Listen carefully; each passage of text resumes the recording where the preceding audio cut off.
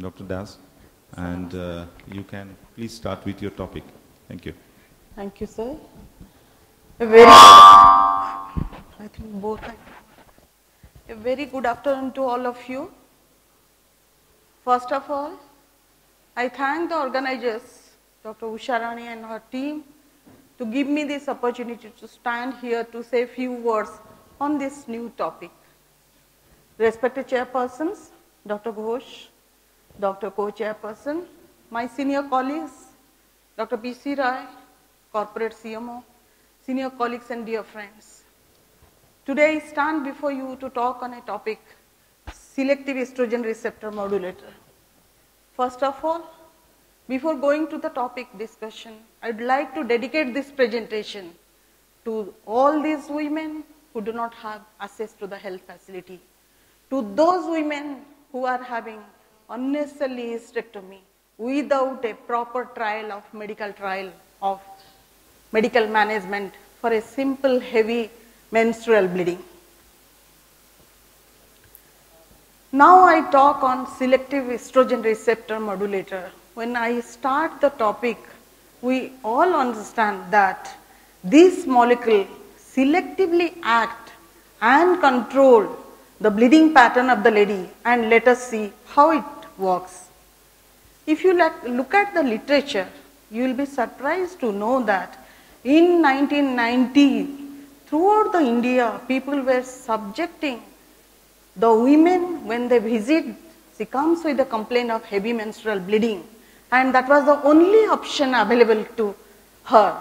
And now I can say that there are some villages in Andhra Pradesh, if you screen them, they don't have uterus. If you ask them, people who have uterus stand in a line and people who do not have stand in the other line. And surprisingly, this the other line, you have a very negligible number. That means we have a unnecessary hysterectomy throughout the India because we are scared and for a medical management of heavy menstrual bleeding, we do not have a proper trial. Why you subject a lady for hysterectomy? When you ask a surgeon, you ask a gynecologist, she or he says, because the indication is she has a uterus. How do we call that somebody is having heavy menstrual bleeding? The NICE guideline says, it defines that it is a condition where it interferes with the qualitative life of the woman that interferes with the physical, social, emotional and material quality of life. Why it is important to all of us? Why we discuss on this forum? You will be surprised that when a lady is having a heavy menstrual bleeding, she visits a general practitioner.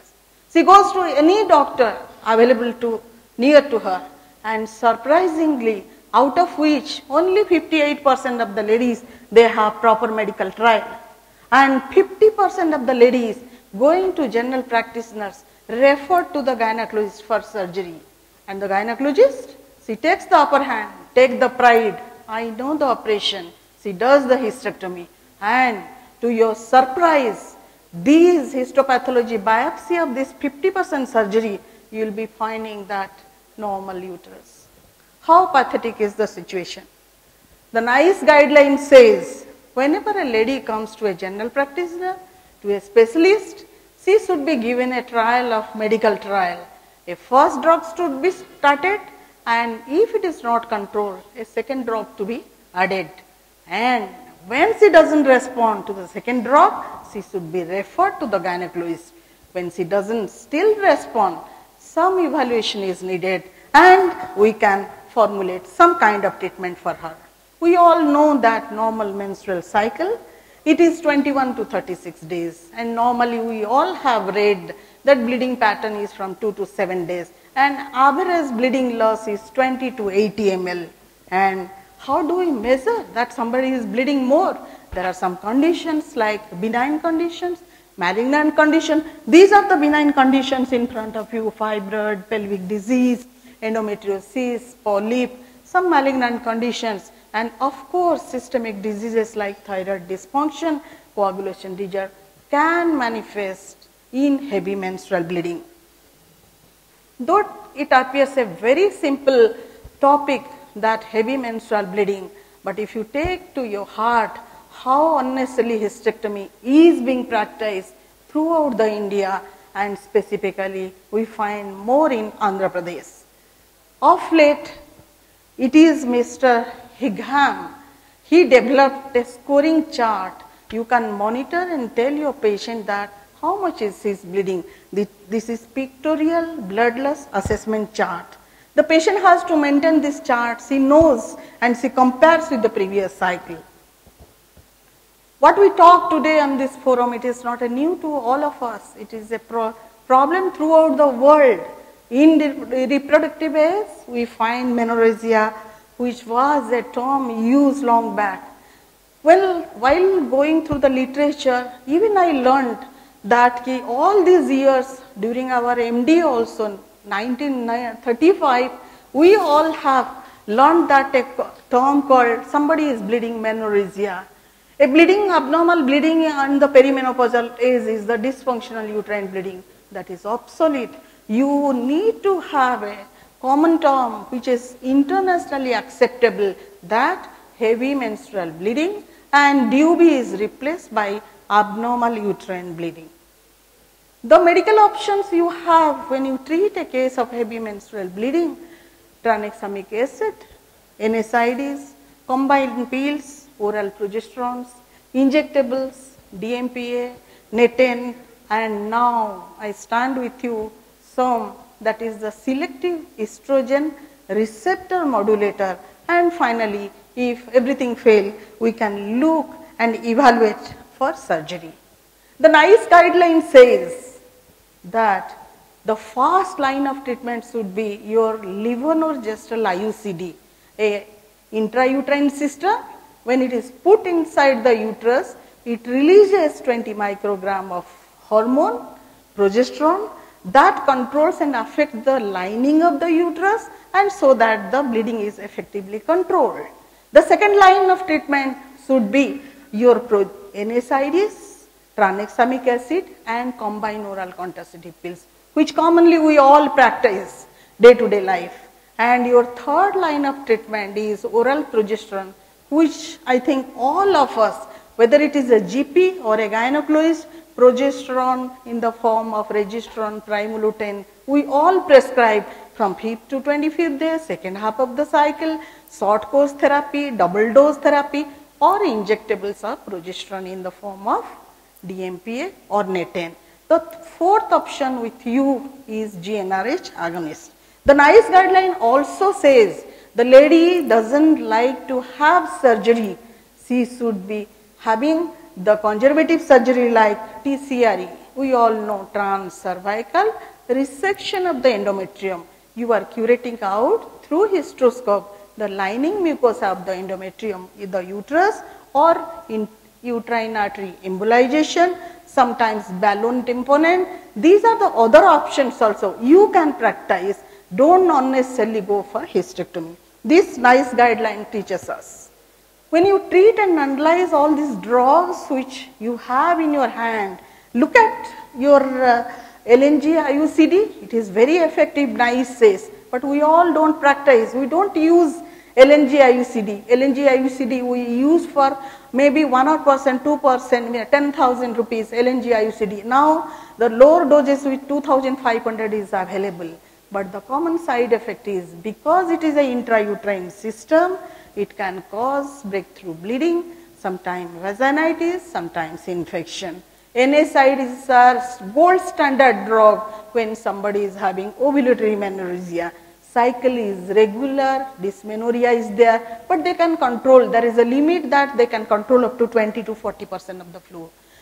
When you start with tranexamic acid, which we all day to day practice, R2 when the lady comes with a heavy menstrual bleeding, antifibrinolytic drugs only during the cycle 2 to 5 days. It doesn't have the effect on the pathology, it controls there itself. You talk on OC pills, yes. It will give some added advantage of contraception, it will control, but bloating sensation and many people will not tolerate. Then norethisterone, which is a rampantly prescribed by all gynecologists, all GP, but it has an uh, androgenic side effect. Now I pose three clinical situations, sir, in front of you. Look at this. A 30 years lady come to your OPD, says, doctor, I have got one child and I bleed very heavily every cycle. What should I do? I also need contraception. But please don't give me IUCD. I don't want any copper Then second patient comes to you. She is little elder, 35 years. She says, doctor, I have got two children, little grown up and I am sterilized. But I have got premenstrual tension problem. I do not want oral contraceptive pill. Please don't give me for my heavy bleeding. I am already sterilized. Why should I give the, why should I take the oral contraceptive pills? The third patient is little more elderly, 40 years, perimenopausal age. She is having heavy bleeding. She says, doctor, my children are grown up. And I had been to a doctor for scan. The doctor says, my sonologist I have got adenomyosis changes plus I have got severe dysmenorrhea because I am 40 years old. What should I do? I am really troubled with my pain and severe bleeding. Now the question I am putting to you, what you choose exactly, what will be the ideal drug for you? Whenever we have heavy menstrual bleeding with a patient, we all neglect the situation. We start discussing with our friend Many a time we give, take the neighbor's prescription. We curse ourselves. What, why it has happened to me? Why not to my friend? Why it is so? And we delay till we land in chronic anemia and anemia related complications. Now I talk in front of you a new molecule that is selective estrogen receptor modulator. The drug is ormeloxifene. If you look at the literature, of 2013, they say that even ormeloxifene controls better bleeding pattern than your norethisterone.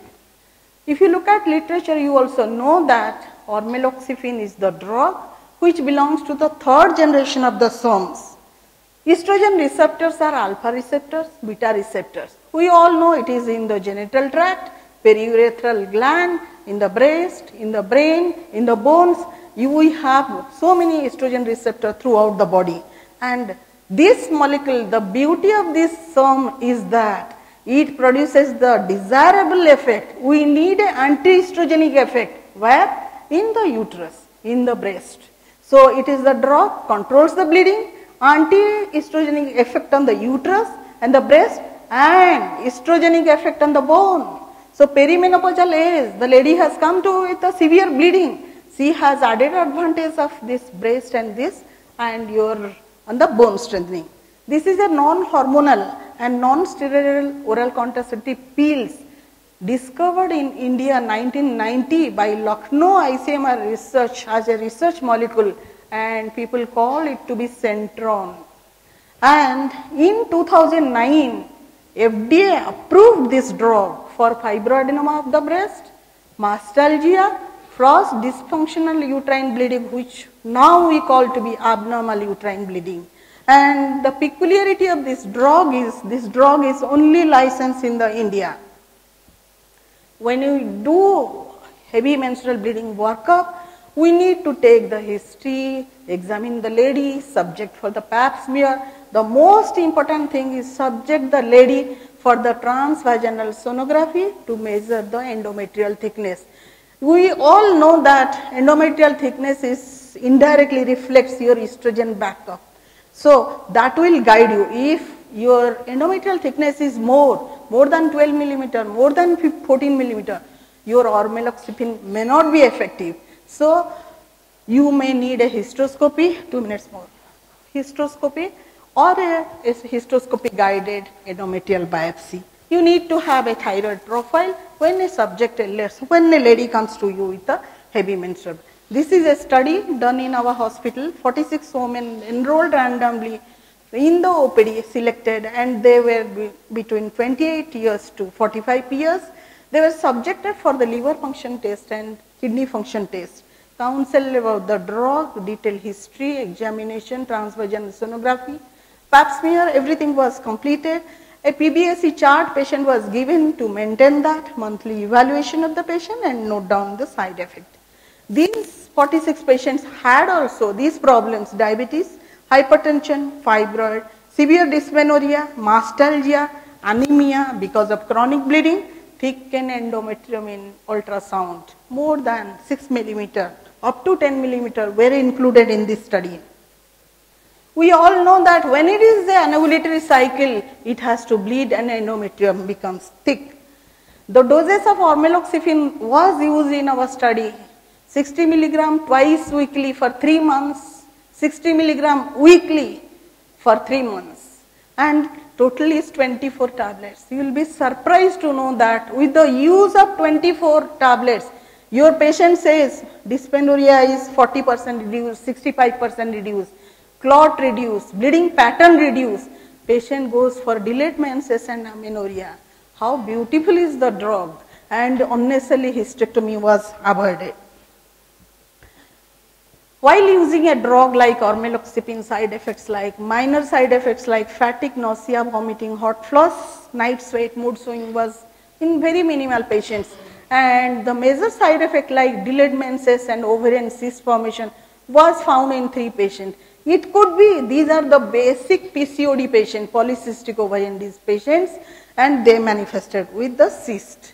These are the patients excluded from the study renal function, renal impairment, liver function abnormal, abnormal cytology, very thick endometrium, we did not include. So to discuss, your judicious judgment can save a uterus. I appeal for that. Ormeloxifene is a very effective drug. Acceptability and compliance is very good, very low cost. Only 24 tablets, simple doses scheduled.